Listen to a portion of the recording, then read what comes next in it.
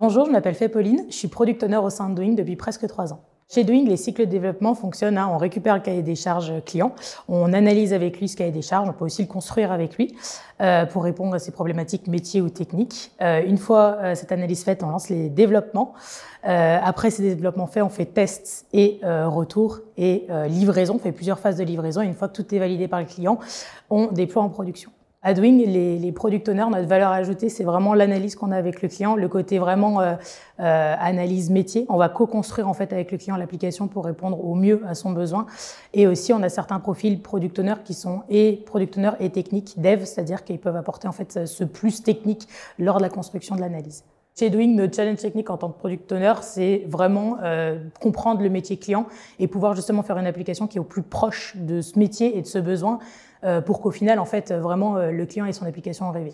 Alors, pour convaincre un dev de nous rejoindre, je dirais justement que Doing, en fait, on est une entreprise jeune et dynamique et qu'en plus de ça, euh, on essaye de se coller aux innovations qu'il y a actuellement, aux montées des innovations qu'il y a, par exemple l'intelligence artificielle ou autre, et, euh, l'IoT, tout ça, on essaye de se coller au mieux euh, pour répondre aux besoins.